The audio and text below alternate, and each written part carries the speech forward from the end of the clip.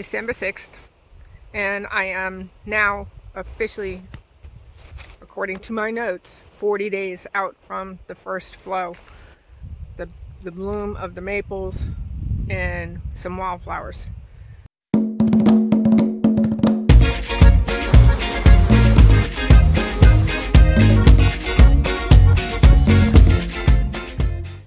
So I can start feeding because that'll give her the 40 days to have the first good flush of brood and be prepared to gather that many more that much more honey and nectar to feed the first true flush based on actual nectar availability. I want to feed my small ones first and I have left plenty of honey on them so I'm counting on that to further the pollen patty. Uh, my pollen patties will go not just on top because at this point they're not in the top of the hive. This is one of my smaller hives. She's in three mediums. So her brood nest is actually in the second medium. And so I'll open her up. But up top, I will put a little extra uh, dry sugar just to uh, further her along.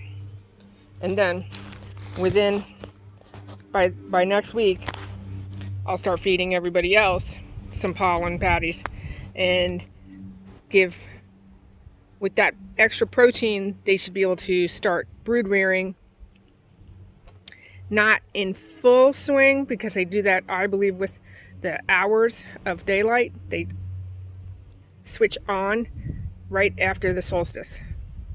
And with this, then they'll be able to fill uh, nucs with extra bees and not be taking too much of a hit on the existing hive.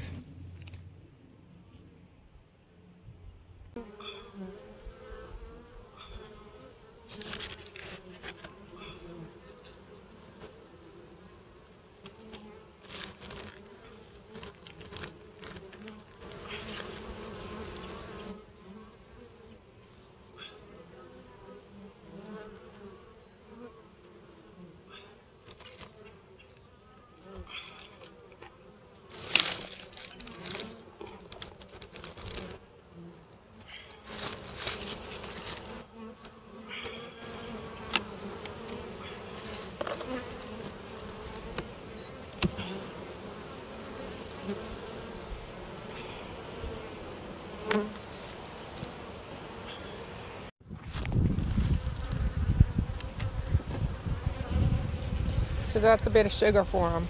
They do have stores, but it helps them just kind of stay busy. I've got like three days of rain coming. It helps them stay busy. Hopefully they won't carry it out. Uh, I spritzed it with a little water so that they don't tend to carry it out as quickly if that's what they were needing to do. And that just helps them keep busy where I am, there's not a lot blooming in this area. It's really a spring area. There's a little bit more in the fall. Right now I've got camellias, camellia blooming. And I'm on top of the blueberry field, so that'll be the first thing that goes for them in February.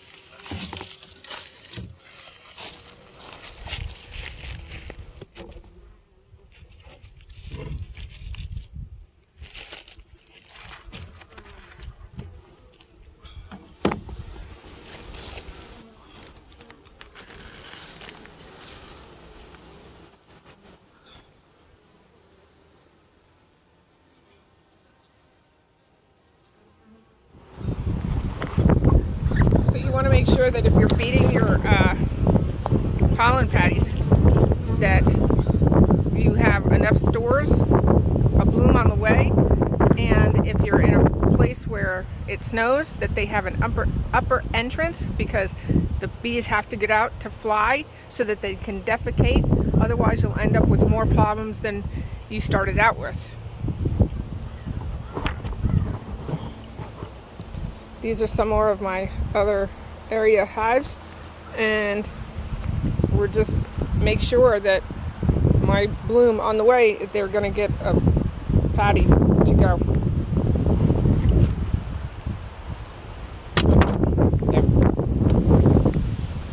They have one in there.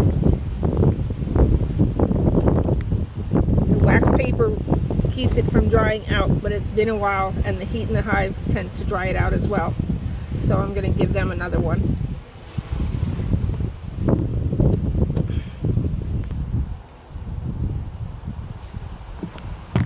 So nobody likes being opened up on these rainy days because it's rainy, it's dark. Most of the girls are home, if not all of them. We got tornado warnings.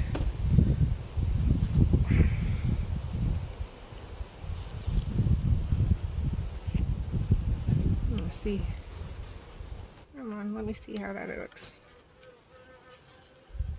It's actually pretty moist.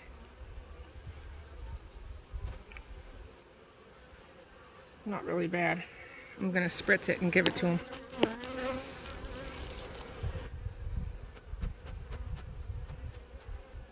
And this other one I'm gonna put right back down into there.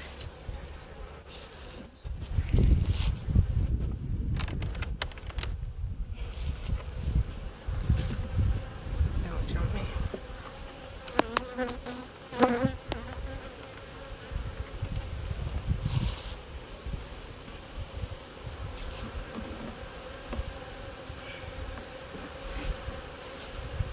Like I said, she's a small one. That's what I'm feeding her.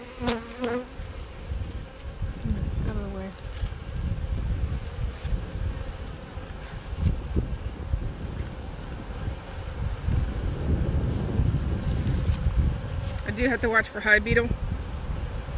The hive beetle can still proliferate. My days are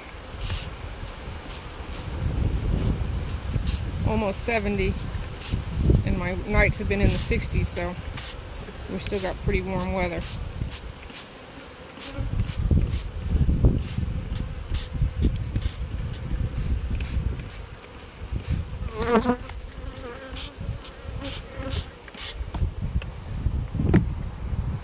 But I want them to be up and ready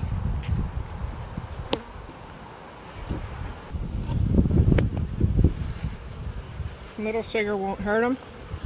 They got their stores. But again,